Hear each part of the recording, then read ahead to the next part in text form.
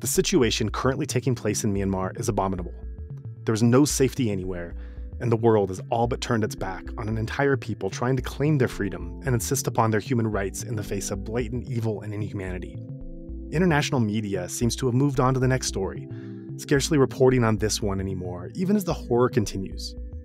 We at Insight Myanmar podcast find this intolerable, and we stand behind the Burmese people in their courageous effort to live in dignity.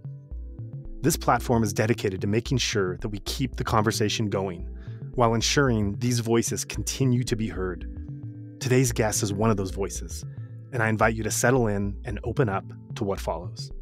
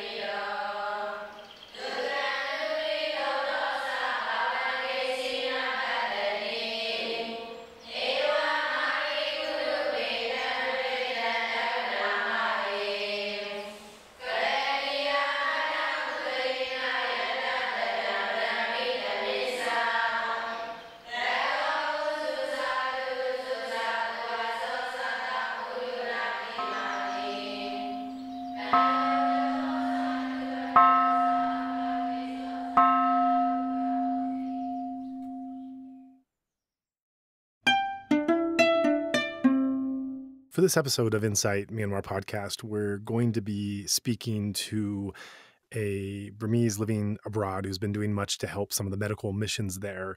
For his safety and anonymity, we are just going to be referring to him as Shade. So, Shade, thanks so much for joining and talking about your story and some of the aid work that you're assisting in country. Thank you. Uh, thanks for having me here.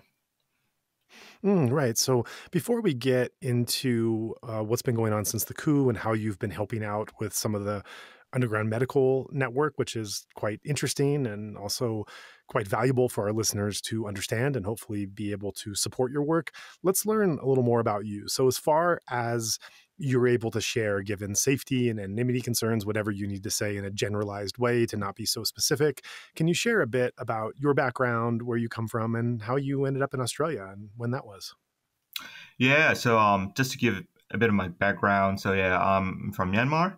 Um, yeah, I've been living in Australia quite a while. Um, yeah, uh, studied abroad and uh, been working here and yeah, and uh, since coup happened, um, i was finding ways to help people back home, supported the CDM movement, um, involved in various activities as well, and um, yeah, I just decided that you know um, I needed to do something about the coup, and this is all happening, and I, I couldn't just stand by and watch. So I, I began to, um, to be involved in various activities, and then um, suddenly uh, found out that uh, some of my uh, closest uh, my people who are pretty close to me were working with, hey, we're doing this medical network thing back in um uh in Sagaing and uh, all those regions. So they were like, um, do you want to help? And I'm like, sure, because I was also I was already involved in like various fundraising activities to help people with all sorts of like humanitarian aid.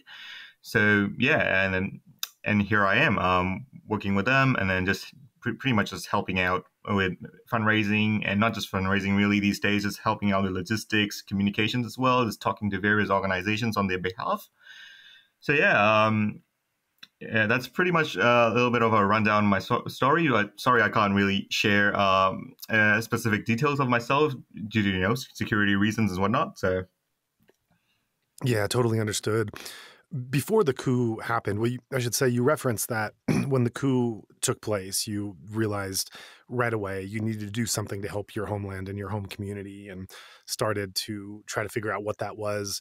Uh, Myanmar, of course, has a history going back many decades of uh, of really devastating policies that have impacted all sectors of the country as well as many different groups living there. Um, so I'm curious in the before the coup were were you involved in any way in uh, in any kinds of these programs in previous years, or was this something that you were just kind of living your life and pursuing your career? And when the coup happened, it suddenly awoke in you this desire to want to engage in this new way. Can, can you talk us through that process in you? Yeah. Um. Uh, well, to be fair, I well, I wasn't really involved in uh, any of the activities uh, when I before uh, the coup, I was interested in politics and stuff. Um, really is kind of my um, one of my interests. So I do keep tabs of what's happening. Uh, I do like to learn about history and then uh, ongoing events and whatnot in Myanmar and pretty much right around the world as well. And yeah, uh, I knew that you know uh, it's been always on my mind that I do, do want to do something for Myanmar, uh, something for the community. But once the coup happened, I'm like, yeah, I really have to do something right now. So you could say that it did, it did awoke in me that you know this is time to get involved. So uh, previously, I was like, you know, I was just focused on my career. I was just doing my own thing. But yeah, um, once the coup happened, I'm like, yeah, this is the time for me to get uh, get things going. So, mm, right, that's really interesting, and um, to explore that a little more, I think, in kind of what how that awoken things up, and then how you responded to it. You know, for myself as well when the coup first happened and I was in America at the time, I, I just felt devastated. I just felt like I was this passive, helpless observer of history that was taking place half a world away by a professional military, knowing how bad it was going to be and just feeling so powerless in anything that could be done. And then once the decision is then made to be engaged, at least on my end, then it's well, well, what can I do? And however small it is, what who do I know? What skills do I have? In what ways can I be involved and be engaged? And that led on my part to realizing the power of this Insight Myanmar podcast platform, the wider outreach and events and networking we do, the Better Burma nonprofit that we developed, and slowly over time start to realize, oh, I, I can do this. Oh, I can also do that. And that was the process I kind of went through in responding to the coup and then looking at where my role could be in it. So similarly, like you, you know, you you were also, as you described it, kind of doing your own thing and paying attention uh, politically. Also, I'm sure in a more local way and how events in Myanmar were affecting your your your own close family and community and friends. But then after the coup, something in you must have awoken in some way to decide that you want to engage in a wider way than you had before. And then you have to figure out, well, what do I do? How do I do it? So can you talk us through that that whole process that that you went through in that period? Yeah. Um, well, I think uh, I'll just have to bring it back right to actually back to 20, 2007. Uh, I'm, I'm pretty sure you're familiar with the Saffron Revolution, right? I think um, uh, for a generation, like um, you know, I'm in my uh, 30s, so I didn't really. What well, 1988 was, you know, I, I you know that, that, was like way before my time. Uh, to be honest, like well, not really way before my time. Was kind of before my time. So I didn't really witness it. But um, back in 2007, I did saw. I saw. I, I saw like you know, oh, the Saffron Revolution. I witnessed it, and um, that kind of has been on my mind. Like you know, I know, I knew that you know this military. It's a brutal, sadistic.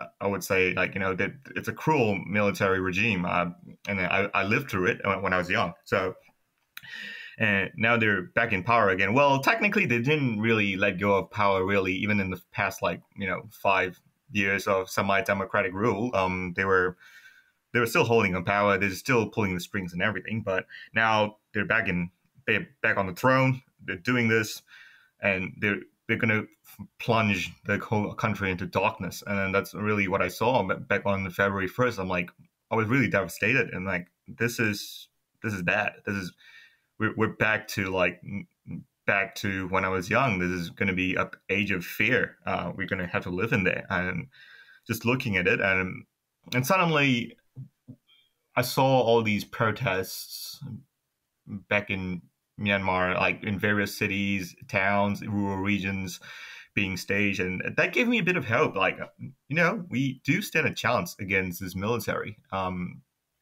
if we are united and if we do help each other, if we do our own part, we do have a chance to deal a blow to this military and topple it once and for all. That kind of, that's that feeling started to take place in my um eh, in my mind in my heart like um probably around in the early days of the coup, really, when I started seeing all the protests, like it's like a, it was like a sea of people coming out, waving all sorts of flags. It, it gave me hope. It really gave me hope. And then, um, and the community abroad as well, we started to come together a bit and start talking to each other, like, hey, what are we going to do about this? And and then it came to me that right, this is a time to act. This is a time that we have to act together. We have to stand together, and then um, we have to play our parts we have to do whatever we can. It, it may be small it may be you know it it could be very small uh, but just doing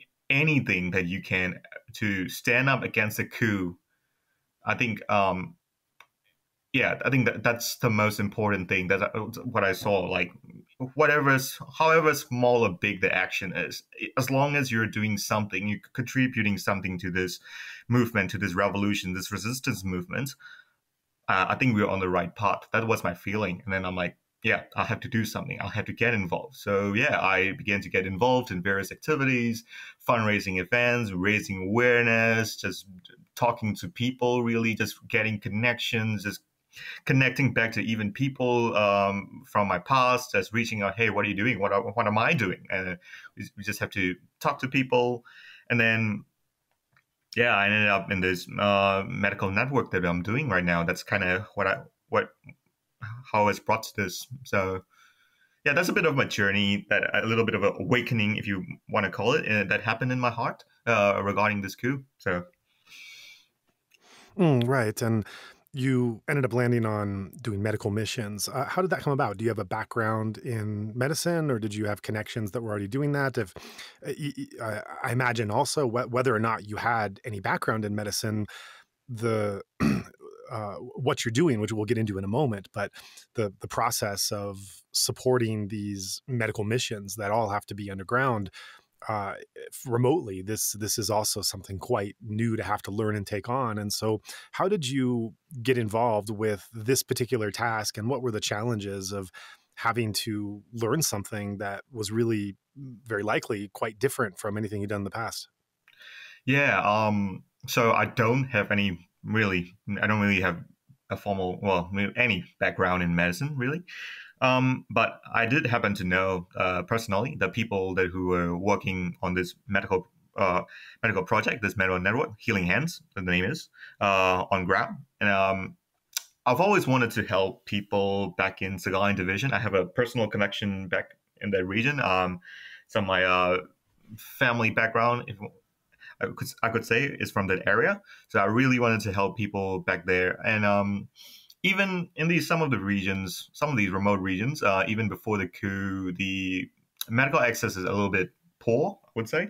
Um, and with the coup, uh, pretty much the public health care system has system has effectively been broken down. The military has pretty much destroyed it, and there's a lack of medical care. There's a lot of injuries, a lot of IDPs, and then I'm like, I want to do something about this, uh, and and just so happens that um, some of the people that uh, I personally knew were working on ground, and they were like, "Hey, uh, we're doing this thing, and I heard you were doing some fundraising and stuff. Um, do you want to help?" I'm like, "Yeah, I'm in." So that's kind of where I got in. Of course, there's a lot of like, mm, there's a lot of challenges because medicine, medical, uh, it's it's not my field at all. So I had to learn. Um, I really had to talk to those people, and I, ha- I had to ask them like, "Hey, teach me." So I had to learn the whole process again. Even uh, I just got involved and uh, I pretty much asked them to give me reading materials, uh, teach me what is this and what is that. And even I, they would give me like basic kind of like first aid knowledge and stuff. So that was pretty interesting. Um, and yeah, and I also had to start learning uh, some of the names of the medicines, and um, like uh, this is what we use for this, and then uh, I also have to start connecting, um, help them, help them out with like ordering process and stuff like that as well. So it's challenging, but um, yeah, I uh, actually quite enjoyed it. Not sure if enjoy is the right word to use here, but um, I had to learn the ropes again, but yeah, it was a pretty uh, steep learning process, but eh, I got there. I guess uh, I kind of rolled with it, but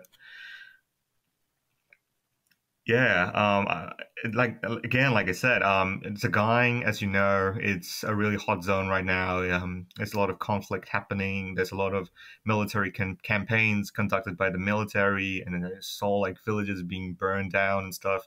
Even some of my relatives back there have to run, uh, flee their homes. Well, this is pretty much like the textbook example of this Burmese military's tactics or strategy, I'd say. This is what they have been doing in a lot of these ethnic minority areas in, you know, uh, Arakan, Kachin, Karen, Shan, uh, Karenni, etc. They've been doing this for like, you know, ages and ages. And then, yeah, they pretty much replicated the same tactics back in the, what we call the dry zone of the country.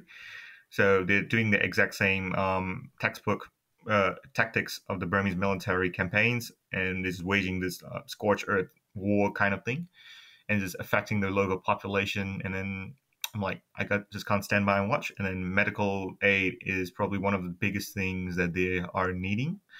So yeah, uh, I think I think everything everything just came together for me, and then I, I got involved, and here I am.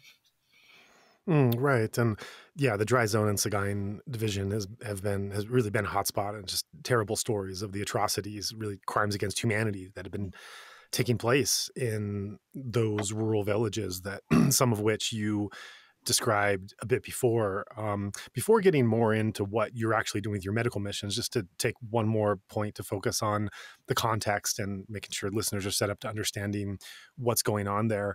Uh, I wonder if you can share a bit about, from your understanding, why the Sagaing Division has become such a hot spot for really the first time in um, uh, well, I don't know how long, but uh, but but certainly in, in, in the recent past, as you said, this was the kind of thing we saw Tatmadaw assaults against the ethnic areas, but not so much the the dry zone areas, the Sagaing division areas. So what uh, what has happened during this period to to make this into a, a hotspot, and then also if there's just any uh, in terms of the military tactics, what they're doing, whether general or anecdotal or anything more you want to share to really set the context for listeners that can give them a better understanding of what kind of operations and support you're providing in this kind of tense environment.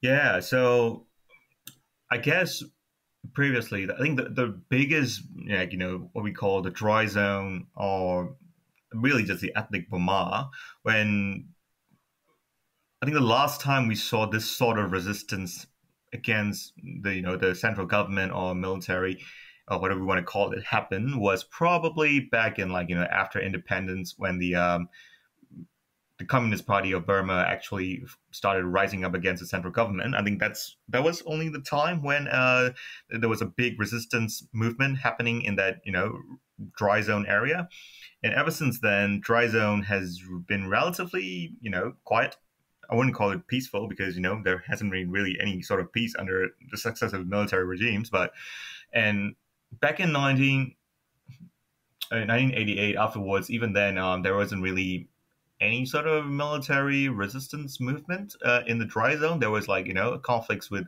in the um, certain borderlands and uh, ethnic areas with you know the, all the students um, uh, taking up arms to fight back you know, as the ABSDF, but yeah, and about and really never really saw any sort of like conflict or anything until 2021, really. Uh, ever since the time of eh, post-independence era, and um, I think that really came as a shock to the military as well. In many ways, I, I would say um, they. I don't think they were sort of expecting this from uh, the ethnic Burma to resist to put up this sort of like fierce resistance, and um, I think, and, and then that's when they started, you know, replicating this scorched um, brutal tactics that they've been using in these um, in the other ethnic areas. Um, yeah, uh, as you can see, Sagaing is, a hot zone right now. It's it's re- the resistance is very very fierce. Um, they're very uh, tenacious. They're very uh, resilient.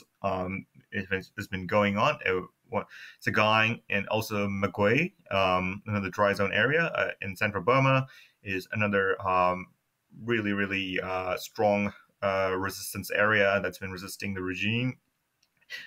Also, even even before like you know the all the uh, armed conflict happened uh, during the early days of the protest, places like Monywa um, and around those area, Monywa, Taze, um, it, it, just around those areas is like a lot of like protests. Even the, these these days, protests are still happening, even despite all the conflict that's happening.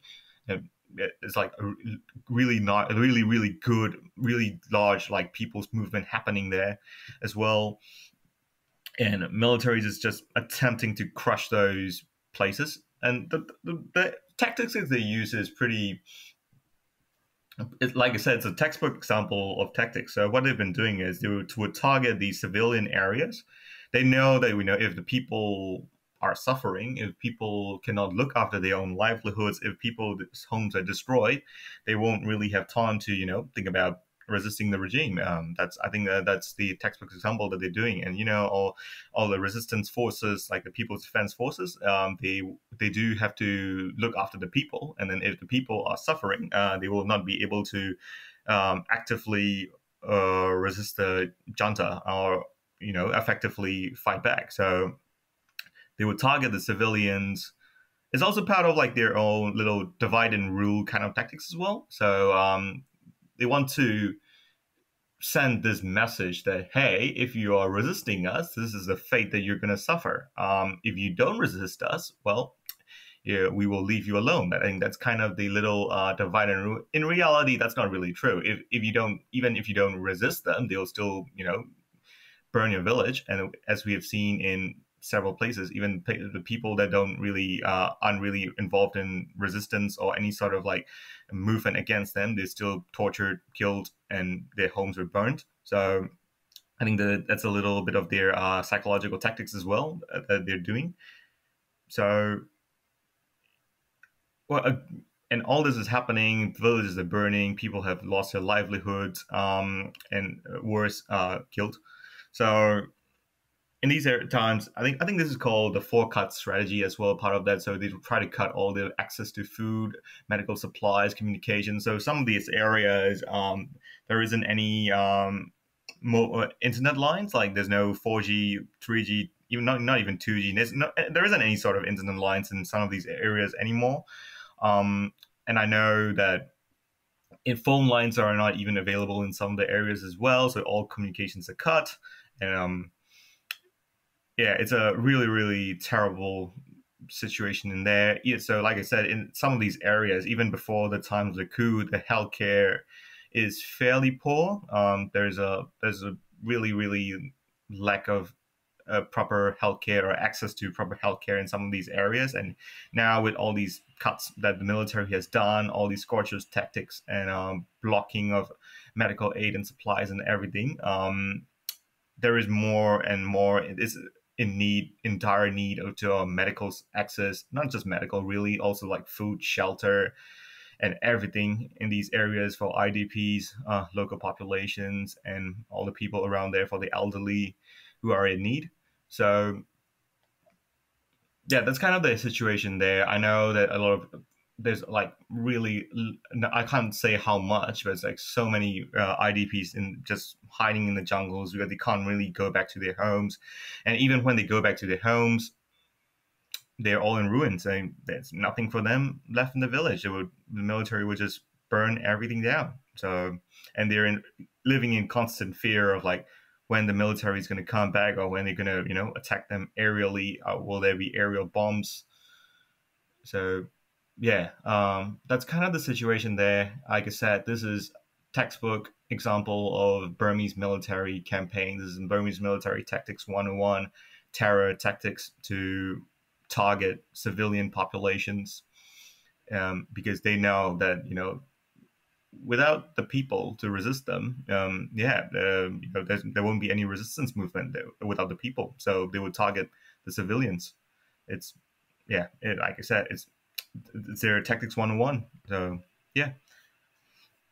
Mm, right. So i think that sets the grounds and gives the context for where you come in. So if you can describe a bit about what your teams do on the ground there and how you've supported them yeah so um, our team is called our, the name of our team is called healing hands so we're based in Sagaing division. Uh, we previously started off uh, a bit in uh, Chin state as well, but uh, really today, these days, we just focus on ground in um, uh, namely in Taze and Mingin townships.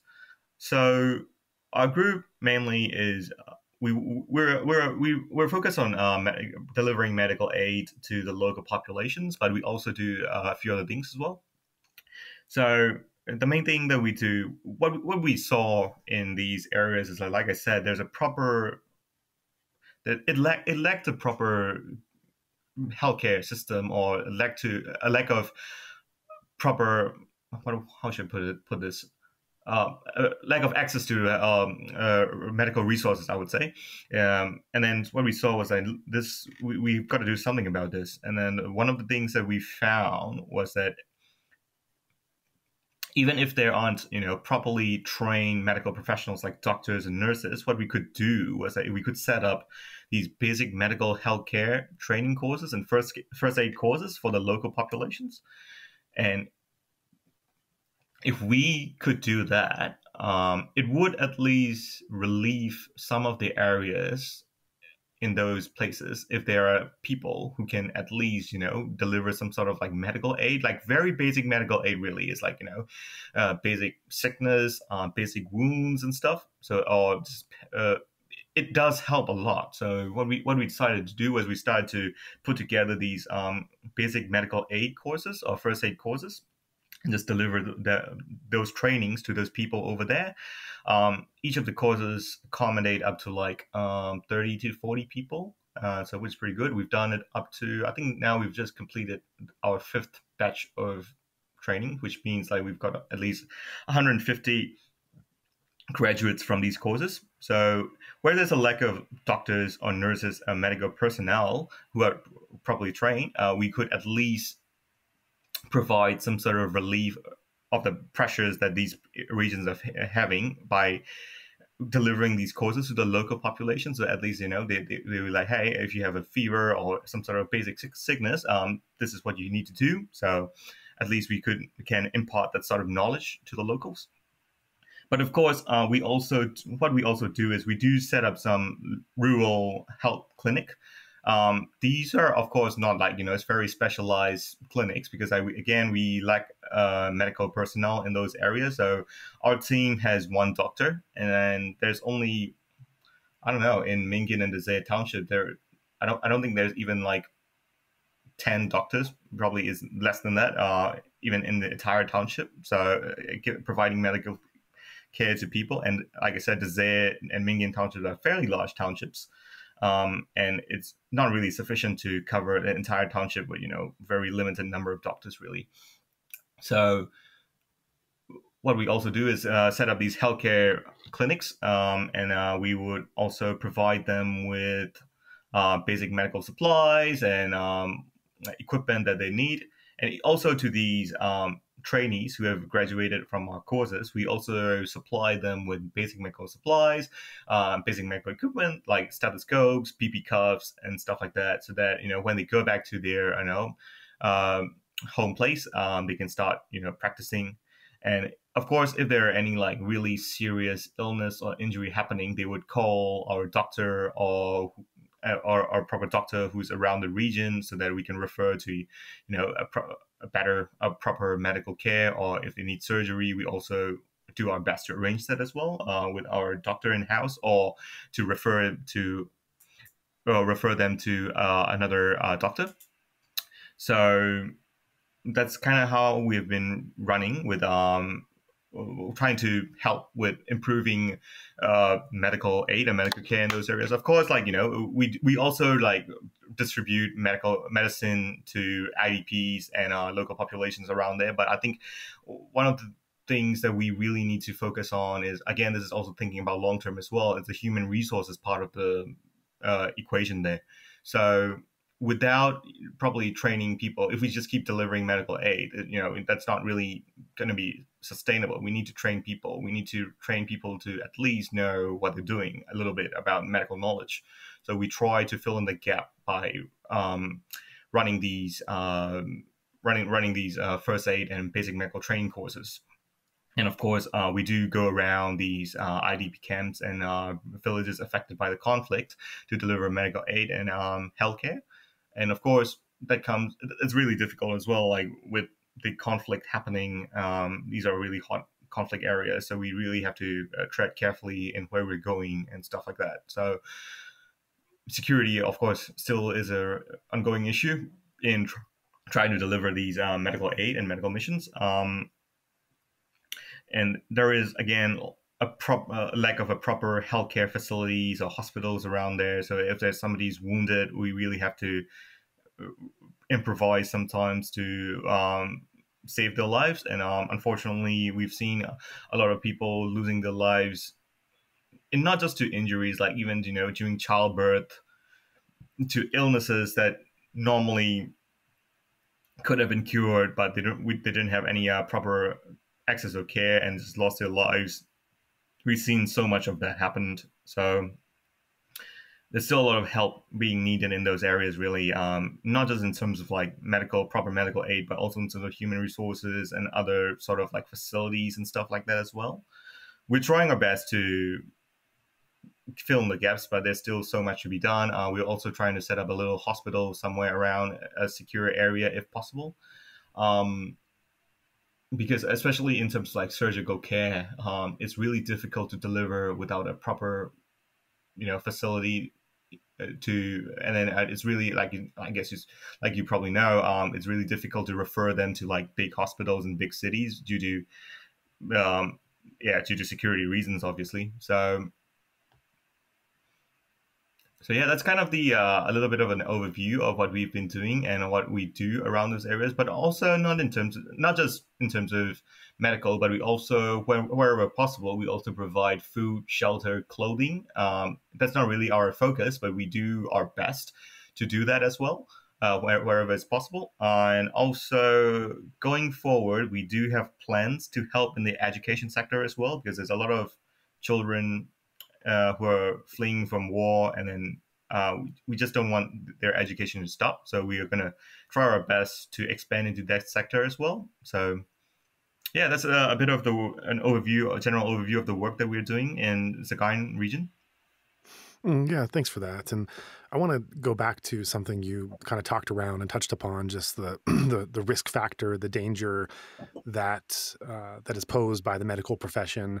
This would include patients, doctors, uh, training courses, mobile clinics, hospitals, just anything associate, or even procuring supplies, bringing, uh, buying a large amount of supplies and transporting them somewhere these have all become uh, security risks. You know, it's really uh, atrocious to have to say that someone who's in the business of administering healthcare is any part of that process is actually uh, not safe and having to take safety precautions. But that is the truth in Myanmar now. So, can you expand on that a bit and just describe the uh, what kinds of risks and dangers people on the ground supporting this mission, whatever side of the activity they're on, what uh, what what risks and dangers they're facing merely by being in the field of healthcare these days. Yeah, um, I think it, it goes back to the early days of the coup, really. I think um, because doctors were one of the very first professionals to stand up against the military regime uh, with the CDM movement. So I think not just doctors really it's also doctors nurses medical and other medical professionals uh, this and dental dentists um, medical technologists uh, all, all the people they were among the first professionals who actually uh, others did as well but they were they were really like iconic i would say uh, quite pretty pretty iconic that they started you know speaking out against the coup they started um, they started they were one of the uh, pioneers of the uh, civil disobedience movement. So I think the military um, hasn't forgotten that as well. And like, like you said, it's really sad to just think of people that people who are saving lives are also being endangered by the military. It's it's a very very sad situation as well. Like I know that even in some places, um, you can't even they won't even allow you to take paracetamol because that actually relieves pain. So they would confiscate paracetamol if they see it. Uh, that actually happened in some areas, and that's horrifying, really. And there's a lot of risk uh, in transporting um, medicine as well. If they see they would confiscate these large amount of medicines being transported. Um, and it, they won't just confiscate the medical supplies; they will also, of course, harm people who whoever sent it or whoever's receiving it. So there's also risks in that. Um, and also these rural clinics that we've opened, um, they are also in danger of being destroyed and uh, and people who are operating there being harmed if they if we do practice them openly. So we do have to do it a bit, a bit of a bit like an underground sort of movement, even in those areas. I know some of the areas are secure, but some not really. So to even to effectively deliver medical aid, we have to make sure they're not around. So because if you do, they would block any sort of medical aid or delivery of any sort of healthcare really in those areas. They want they, they want people they're, they're, blocking or cutting access to all sorts of medical supplies and medical aid being delivered to this region. Um, so they've been cracking down on all these uh, medical uh, well all these pharmacies they've been cracking down on doctors, CDM doctors, nurses, and dentists, just really um, just cracking down on them, just arresting them. I, I, saw on the news recently that some uh, CDM doctors being arrested in, I think it was in Mandalay, I believe. And they were also working to deliver medical aid to, I'm not sure where they were, but um, apparently they were involved in delivering medical aid to some of the conflict areas. And uh, sadly, one of the CDM nurses where uh, she was murdered uh, during the interrogation process, apparently. So that was really sad. Just so just to think of that, like people who are trying to save lives, and, and their lives are also being endangered just by doing their jobs. So yeah, um, and and for our network as well, we we have to work really really we have to lay low and work um, work behind the scenes. Uh, we have to work very very secretly in those areas to deliver medical aid. Of course, some of the areas are pretty okay, uh, especially in the areas that are controlled by the resistance or you know there's a heavy resistance presence. It's very it's quite safe, but uh, venturing forth, um, there are certain conflict areas that we have to cross over. And in those areas, no, it's not really safe. And uh, we really have to be very careful in planning our routes around those areas. We really risk uh, we the, the people on the ground risk their lives just to deliver this sort of medical aid to the people in need. And then yeah, like you said, it's very sad, but it's really just a reality. But and we have to something that we have to deal with, unfortunately. So so yeah. Hmm, that's also reminding me of the really unfortunate kind of responses we've seen over the past couple months and even couple years of some Westerners and organizations and governments who have not really understood. I don't know how they can't get, you know, you can really find this news anywhere, but somehow they haven't understood that uh, or accepted the fact that this military has no interest in carrying out any kind of humanitarian aid, even apart from what they're trying to rule. And there's been this ongoing question for the humanitarian organizations, big or small, that are trying to come in and make a difference in Myanmar. Should they bring the military to the negotiating table? Should they try to go through the military? Should they uh, should should they by all means try to avoid the military and go through informal networks, which there's a concern that that however one feels about the military being in charge and their legitimacy leaving that aside that they they are ruling some central parts of the country and so this for organizations where where these questions of rule of law and protocol and everything comes into play that they're they're they're by supporting these informal networks and avoiding the military there's a concern that they could be um, they could be seen to be going explicitly against the uh, whoever is in charge, which is something that these big organizations and governments don't like to do. So it's been this really messy situation of trying to figure out how do we get aid in there? Do we uh, knowing the risk associated and the consequences associated with all parts of it, going through these small informal networks that are are very much under the radar of the military, and you know the military would yeah, yeah, claim yeah. as illegal, even though we would claim the military itself as illegal. Exactly. So and and then but then the converse of that of looking at going through the military where um, people such as you and I, and I think many associated with this movement, would just have very little faith that the military would actually do anything oh. with what is given. So I wonder if you just that kind of debate and controversy that's been going on, as someone who's really active in this field of aid giving and medical, what what are your thoughts on the best way? Uh, for um, for for small organizations such as yourselves and even larger ones to look at uh, engaging and trying to get aid in there effectively.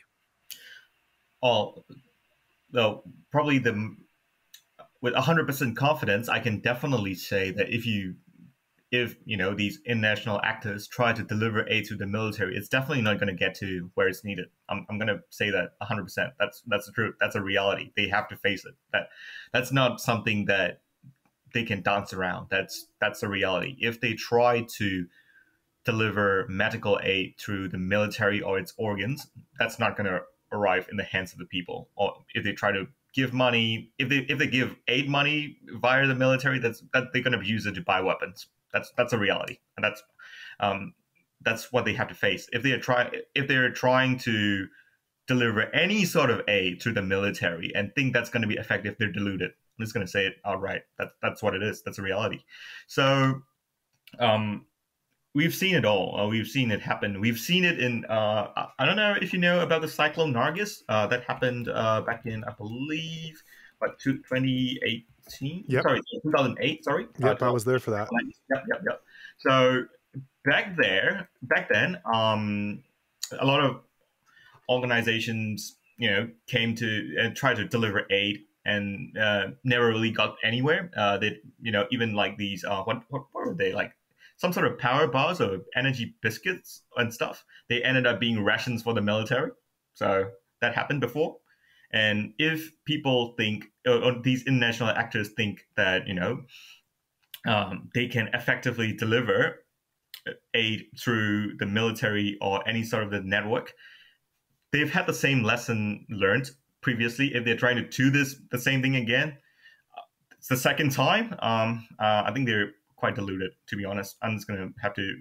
I'm not gonna be. I'm gonna be very blunt this time. So, um, the best way probably is to, if they can, to engage local actors or local humanitarian organizations, or even through uh, other, you know, certain, certain networks like you know probably national unity governments, NUGs, uh, humanitarian, uh, or you know any sort of uh, programs that they're doing or any sort of like ethnic um, authorities probably as well. In certain ethnic areas they have their own authorities who can probably better uh, deliver aid or even so even certain local organizations or aid groups uh, like ourselves or certain uh, certain organizations and certain authorities. People some of the places people have set up their own little um, self-governing, I would say, sort of authorities. They've started to do their own little things as well, because pretty much like the military's um, administrative organ has pretty much broken down. So they've organized themselves into this, you know, uh, um, self-administrative uh, authorities kind of things. So I think what if the international community wants to help in terms of humanitarian aid, they really have to reach out to people on ground. They really have to reach out to these um, local authorities who are not affiliated to the military regime or through various other channels. That's the only way that they can get aid to where it's actually needed.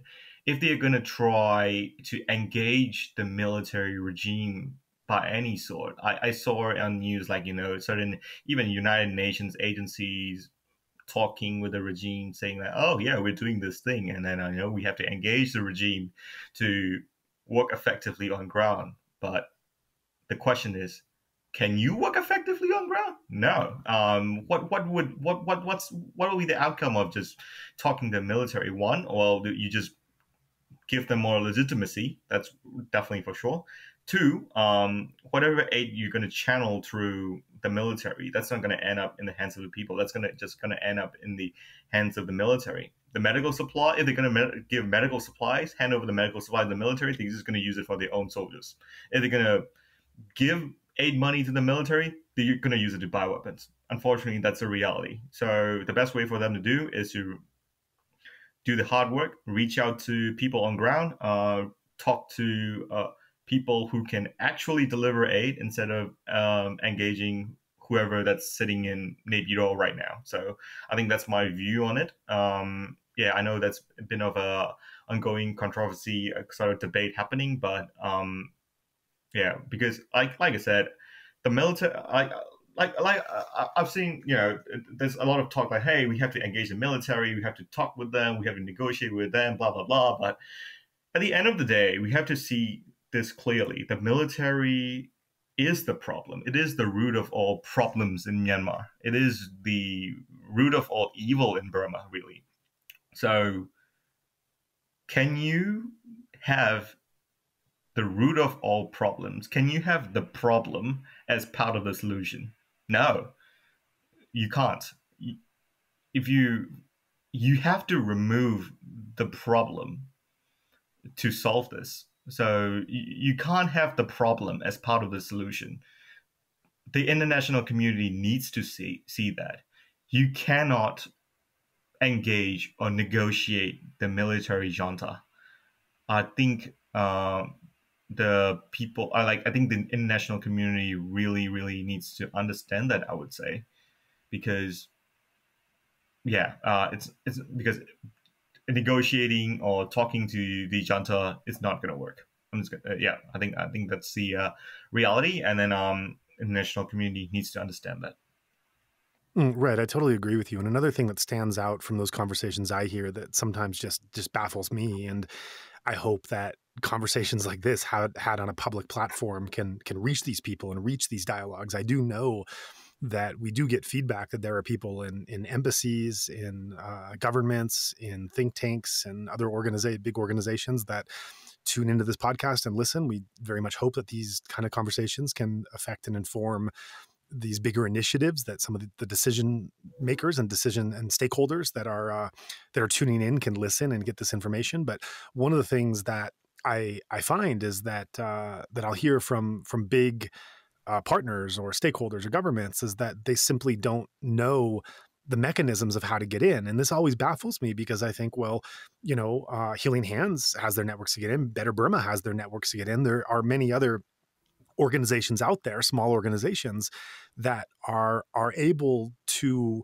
with safety and with care and concern and and um, and deferring to the local conditions that are definitely able to be able to get funds in where they're needed to help some of these humanitarian missions and with more funds more help can be given. And so this is something that's always baffled me is this kind of dialogue from people saying that they're just not doing anything because they don't know how. They're just very confused by a military actor that is is uh uh, is claiming to be in charge and yet is very unreliable and not knowing what other alternatives there are to go around. For those people listening, there are other, there are indeed other alternatives to go around. This is not something we should be hearing anymore. The the for those that want to help, they should be identifying and finding these reliable smaller partners that would be able to carry this through and get it where it's needed. So I just I simply don't understand why I keep hearing that argument even after two years. I totally agree. That baffles me as well. I'm like, well, they're better connected. They have you know better connections. They should be able to do more. That's what that's my general feeling as well. So. Yeah. So moving on, another thing I wanted to touch upon is uh, you've in the start of your talk you reference how you're a, a Burmese living in Australia. You've been there for some time, and so basically you're you're a member of the diaspora helping those people that are in country. This is an interesting relationship that I think has not really been examined or, or talked about enough. And so it's something I'm that, has been more on my mind and consciousness to want to be able to explore it and, and check in and understand it. So, from your standpoint, where you are in the diaspora, helping those in country, how would you describe this relationship and how would you describe kind of the responsibilities of both parties? And especially being a member of the diaspora, speaking for yourself, how do you take it upon yourself to see? like what you can be doing, what you should be doing, perhaps what you should not be doing, um, where you can be helping or advising, but where then you have to stand back and defer and listen like how do you how do you define those the nature of this kind of relationship and respective responsibilities? Right.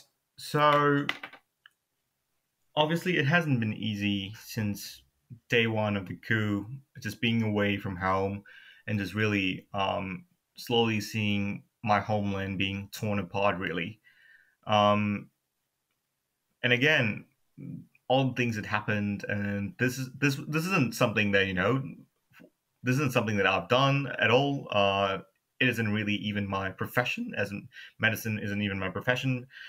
So, like I said, I had to learn a lot. Uh, I learned the ropes again and stuff, and then um, I think I just took it upon myself. Really, I just like I said a bit earlier, in the early days of the coup, and then as things progress, I'm like, I needed to do something. I just can't stand by. I I have to do something, no matter what's, no matter how small the action is. I have to do something. That that has always been on my mind. Um, so I want to get involved. I want to help people. Uh, I just can't stand by and watch. Um, even I'm here. I probably could just sit back and just pretend nothing's happening, but I can't do that. Um, I can't just go to sleep like that, you know. Um, if I sl- even uh, it's it's always on my mind. I get even if I do I'm doing something else. This this coup, there's you know people suffering back home. That's always on my mind. Um, I can't get it off my mind. Um, it's just been happening from day one of the coup. So I'm not saying everyone should be you know getting involved and doing all this thing. It's great if everyone can do that, but uh, everyone different different people have different sort of views, different sort of capacities that they can do. Some people will actively contribute funds. Um, they will help people. Like you know, they'll they're very passionate in raising funds, um, donating funds to people who are needed. Uh, some people uh, are really act, are like you know go down the activist route. Like they they they, they would they're happy more than happy to be the public face. They would speak out, raise awareness, talk to uh, various international actors. Uh, being the voice for the people who are back home who can't really voice out. Um, uh, and some people uh, will help more a bit more in depth getting involved in these sort of like um, underground uh, humanitarian aid or other sort of movements as to help helping others out uh, talking to people connecting with people. So at least the way i see it uh, at least this is really this is more of a personal sort of opinion for me i guess. So i'm abroad. I'm, i've been here for a while but looking back, it's my homeland. That's where I grew up in. I want to see it at least peaceful, being free from the shadow of tyranny and oppression. At least, at least I want to see it that way. Uh, I want to see it prosper. I want to see it become a proper, you know, peaceful place for for all the ethnicities and everyone that's living in there. So at least this, I just saw myself like you know I need to do something. Uh, I want to get involved. I I wasn't just content in raising funds. I want to get more involved. I want to get deeply involved in delivering aid. What can I do more? I always ask myself, what can I do more? I think that's the question that I keep asking myself. Yeah, true. I'm getting involved with these things, these things, but um, to myself, I just keep asking, there there are definitely things more things that I can do better or there are things that I can get more involved I can do more things. So again I have my day job doing here. So I'm kind of doing two things or more at once but I try because then again like I said um, my day job is my day job but uh, really there are more important things than career for me. So which is you know things are happening back home. I just can't stand by and watch. So, as part of the diaspora, um, at least to me, I would say it's more of a commitment to this cause. I think that's the most important thing. It's a commitment to at least see my homeland being free of tyranny and oppression and fair I think that what really drove me to do this to what I'm doing. It's more to me it's not about patriotism or nationalism or anything like that. It's really just I just want to make my homeland a better place, being free from all sorts of oppression. I think that's that's the thing that drove me.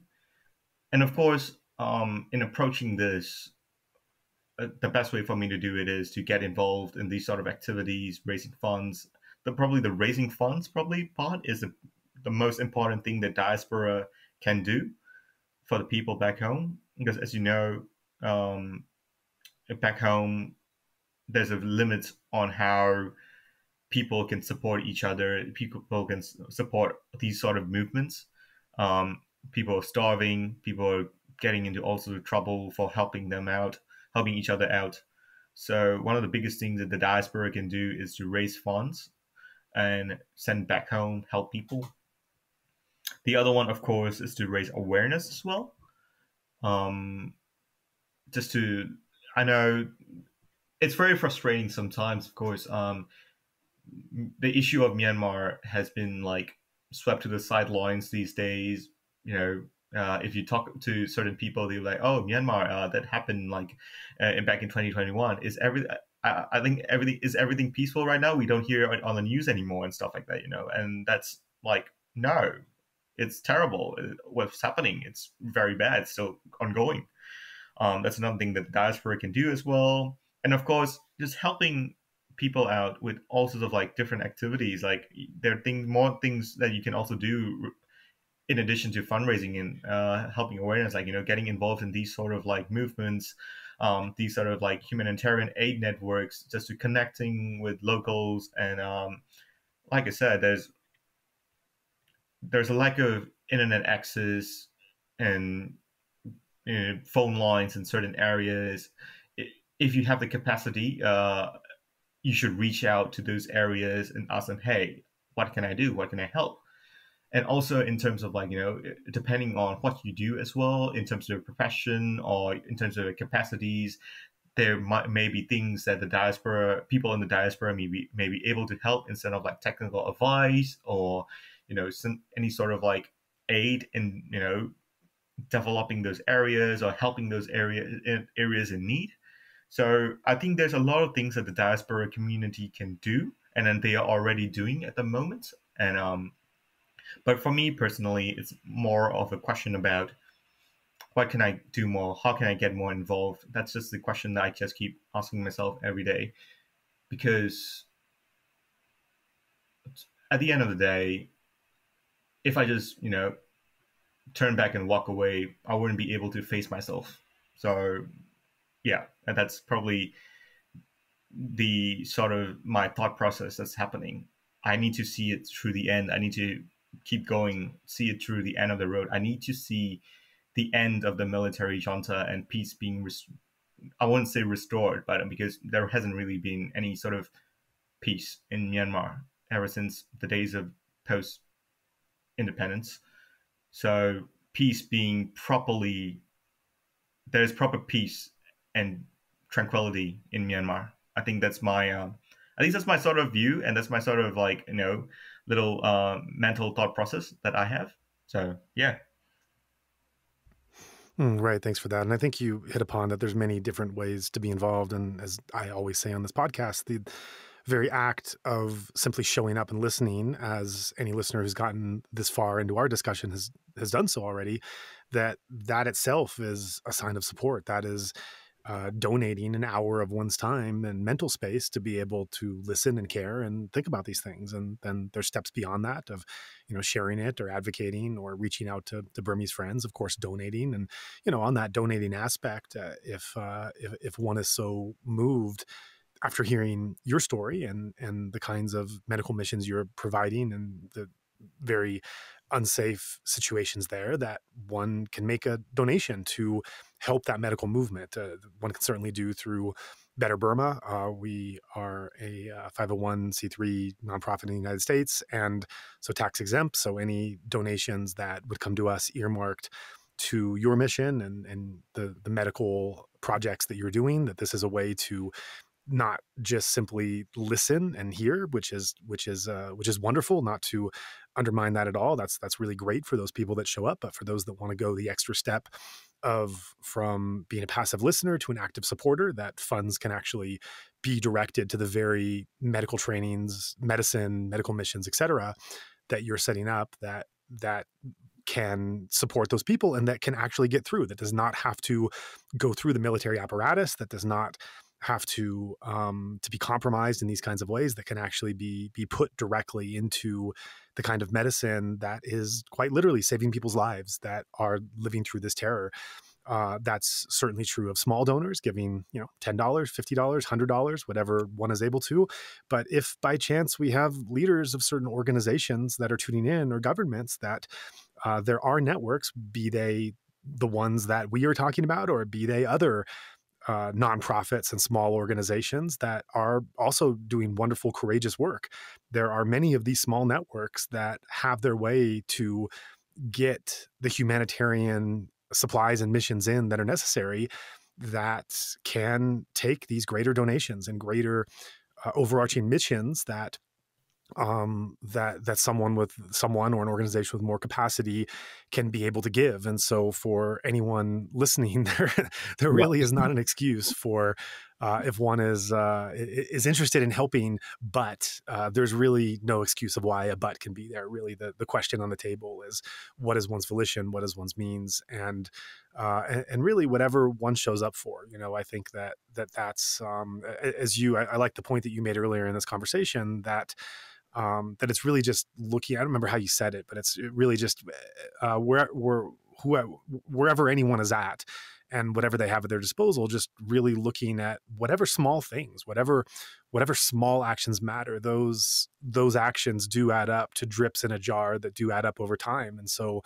whatever is it within one's volition and means however small or however large it might be that those all of those things do matter in giving that momentum to this and morale as well to this wider movement and uh, and mission to want to restore democracy and human rights or bring democracy and human rights as you said. I don't know when myanmar has really enjoyed that to the full level and uh, and I know also that these conversations they do give uh, a lot of hope and resilience to people listening. I've heard from many listeners have written in saying that whether many many Burmese listeners, I should say, whether they're in the country or diaspora, and feeling some kind of heartache and hopelessness and, and depression, that whether we have on Burmese guests, they they they they're able to share in the sacrifice and the courage and the commitment that they have towards this democracy, or whether they're foreign allies like myself that are on and realizing, oh, we're, we're not alone. There are people that tremendously care uh, about this country and society and are helping in their own ways. And so just hearing these conversations and knowing that people are doing what they can in their own ways, that that does matter and that does help. So that's um so hopefully this conversation has also done that to those tuning in, whoever you are, whatever backgrounds you're coming from, as well as to give some food for thought of how support can be given in real tangible ways that have direct and immediate results. Yep. Yep. Totally, totally agree, mate. Totally agree. Like I said, um, even the smallest acts of doing something matters. I think that's that's what what I want to tell people as well. Uh, whoever is a diaspora or any sort of allies or friends of uh, Burma. Um, so every single act that you, they do or you do to help matters. Yeah. Mm. Mm. Mm, yeah, absolutely. So uh, before we close, anything else you'd like to add that we haven't covered? Um, so I just want to share a couple of like um uh, things that uh, happen uh, on the ground that we, that we see as well. A couple of stories that we we saw. Um, so previously, uh, when we started off, uh, we we also tried to send off medical aid uh, to other regions as well. We've sent aid to Karenni. We've tried sending aid to Chin, um, other places as well, and um, we kind of have stopped, uh, unfortunately, because of the increasing number of IDPs and people in need in our region, in the regions that we are operating in. So, um, but then again, at the same time, uh, because we have shifted all our attention to Mingyin and Zaya townships, uh, we've been able to better help the people, uh, like you know, uh, these increasing number of IDPs. We've done uh, uh, a lot of work in traveling to those camps. We've tra- traveling those villages, helping them not just in terms of medical aid. We've helped them rebuild their ta- their homes as well in certain places. Um, and we've saved lives. We've assisted in um, childbirth and pregnancy as well in in these IDP areas. Uh, we've also helped people with, you know, injuries from you know uh, attacks from the military, like uh, from their uh, attacks from with their cannons and uh, aerial uh, bombardments. There are people getting injured from them. We've also helped them as well. Um, uh, we are also doing our best to set up a little sort of like hospital um, for the injured injury care as well. Um, we've also done uh, various amount of sur- life-saving surgeries in, many ways that we can. Uh, we're also delivering certain a certain level of aid to all these IDPs, all these local populations, like just providing general healthcare services as well. And like I said before, it's not just in terms of medical aid that we've been doing. We've also been uh, distributing food and shelter wherever we can as well. And hopefully, our aim for this year is to expand into educational sector as well. Uh, I know it's a little bit ambitious, but that's on our radar. We want to keep the education sector going. Uh, we want to keep the education for the children going. Uh, people, children affected by war, they haven't really uh, been been to school for you know at least now it's going to be over two years. We don't want the education to stop. And at the same time, we want them to have a better education or a better future for them as well. Like, we don't want them to go through the same sort of education back, you know, back in like five, ten years. Uh, we want this. This is for a new generation, a new, like I said, for a new, better, peaceful Burma, right? So it needs to be a better education for them, like a totally new sort of education uh, that will, you know, really, really um, aid them in being part of the future of the nation. So that's uh, kind of the uh, aim for us for this year to expand into educational sectors, set up sort of like self-managed schools. So I really would like to invite everyone and whoever is tuning into this podcast to help us out in achieving our goals. So our, our motto as Healing Hands is Journey to the Wounded. So we really that that is our mission really to work in these conflict areas and to deliver aid, medical care, and beyond medical care to actual areas in need, actual areas like actual conflict areas. We want to be there. We want to go there. And I know my friends, my uh, comrades on ground are risking their lives every day to deliver uh, these sort of aid to people who are in need. So at the same time, uh, we're facing a lot of difficulties in terms of procuring medical supplies, partly due to also part of inflation and um, really, really hard. You know, it's really difficult to get medical supplies these days sometimes because of you know all the um, because there's a there's like a limited you know, stock inflowing into the country as well, and uh, prices have risen up. So it's like you know the the stuff that you can get for say you know um, five hundred thousand kyats back in 2021, and stuff that you can get for five hundred thousand kyats in you know 2023 is vastly different.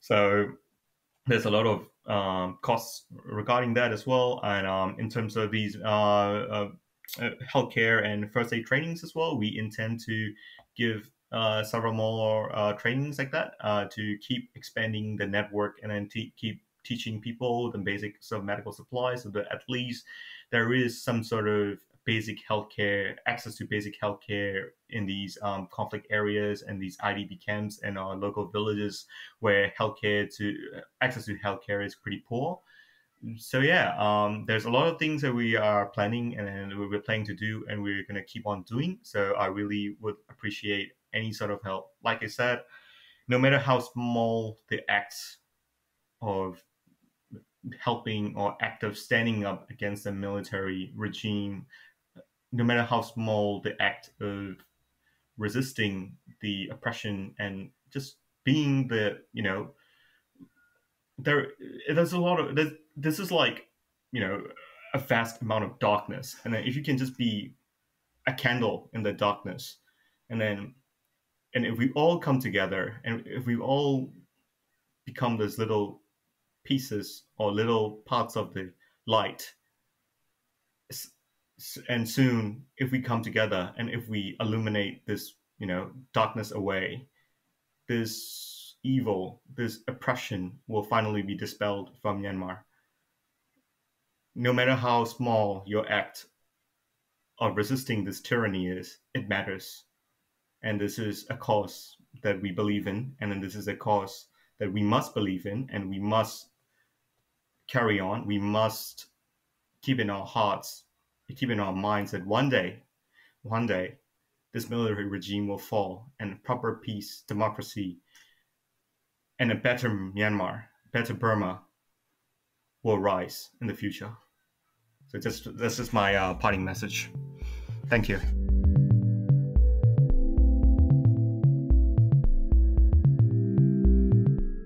For whatever reason, even as the conflict in Myanmar continues to worsen, it somehow continues to be shut out of the Western media news cycle.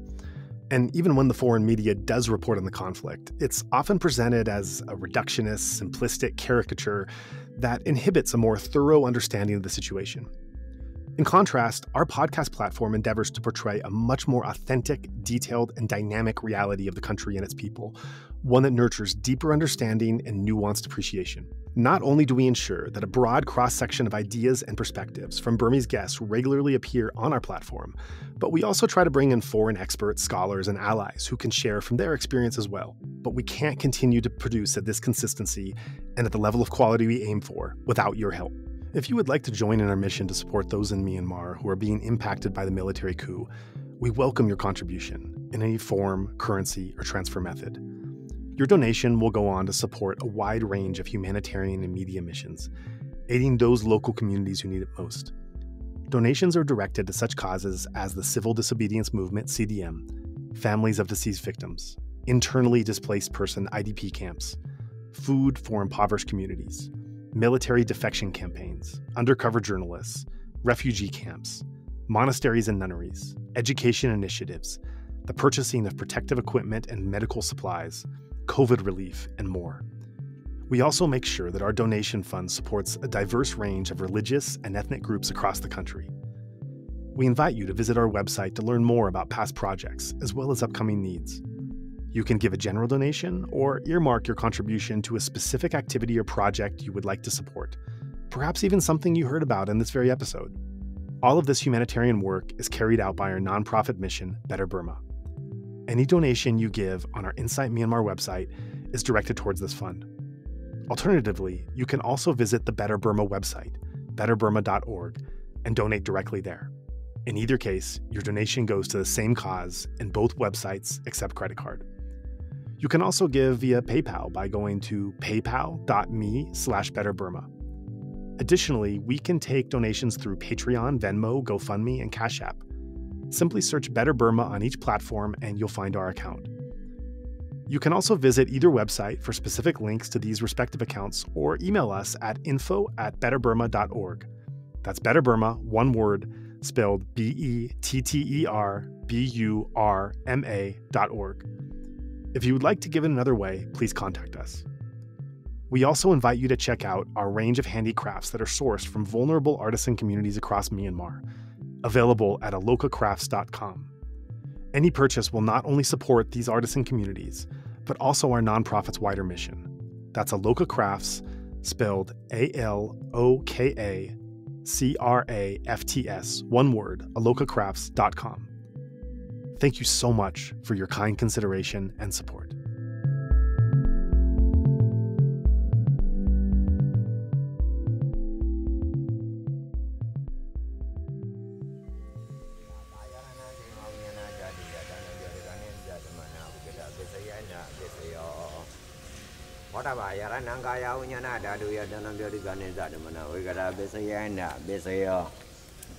Oba, yarana anda, yarana ngana, yarana yada, yarana ampada, yarana ampada.